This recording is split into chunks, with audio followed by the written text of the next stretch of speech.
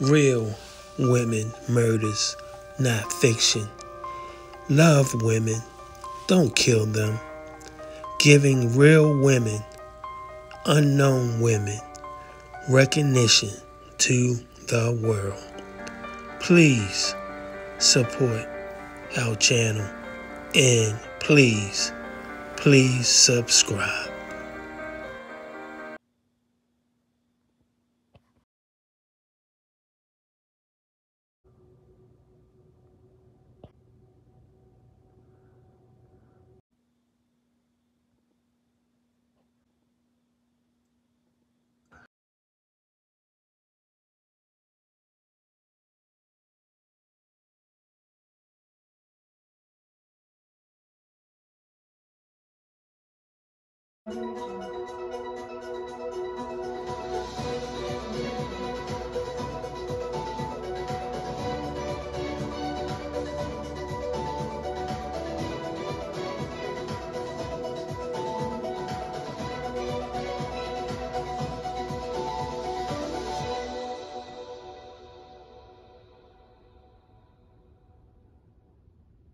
Is breaking news.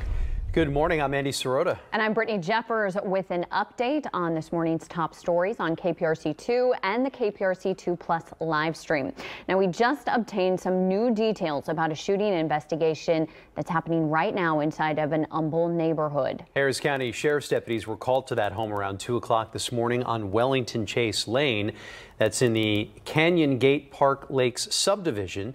KPRC2's Corley Peel joining us live from that scene with what we've learned. Corley.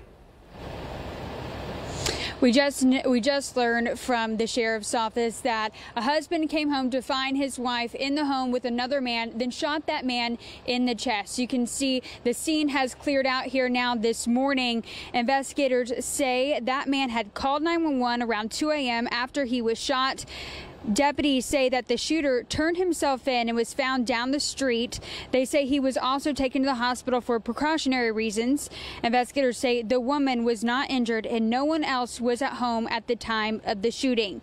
Now, the man who was shot is in stable condition and the shooter is expected to be charged, but it's unclear what those charges are at this time. We'll continue to keep you updated on air and online at click2houston.com.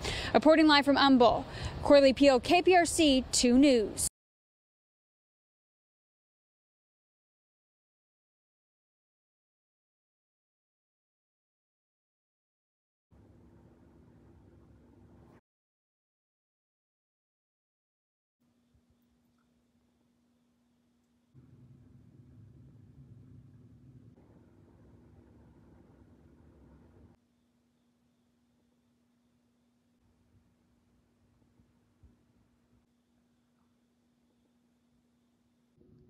Thanks for watching. We appreciate you. Please, please subscribe.